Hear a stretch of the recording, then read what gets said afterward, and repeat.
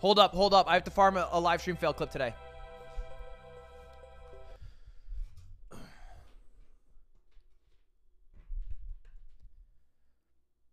I think Will Neff's a great guy.